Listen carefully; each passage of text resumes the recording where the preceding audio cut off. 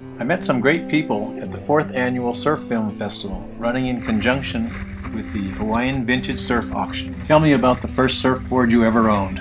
I'm Gary Despars. I live here in Honolulu. Been here 14 years. And I guess the, the question was my first surfboard and my first experience with surfing. I was 15. Surfed at San Onofre with my brother.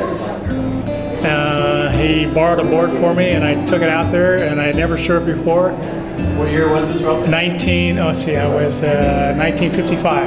And the board was made out of? It was a balsa board. Um, probably uh, at that time was probably like 9.6.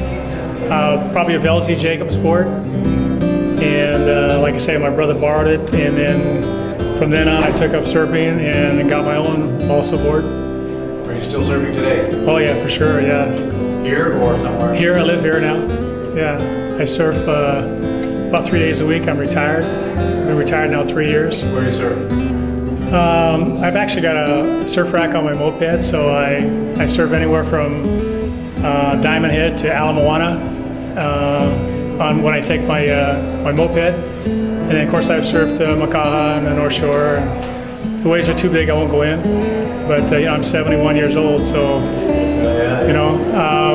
but uh, you know, I know what I'm doing. So, but uh, I feel very fortunate that my health is good, and obviously uh, surfing has been instrumental in, in my health in the saltwater. This last month and a half, we got two big South Shore swells. Did you happen to catch any of it? Yeah, I did. Uh, actually, I went to uh, went to th threes is usually my favorite spot, and then I surfed outer uh, outer pops, which uh, is a very, real, very thick wave. And on big days, uh, you know, you can pretty much get out of the way if it uh, if it gets too big. So That's all I need to know. Thank you very much. anyway, yeah. Thank you. You're welcome.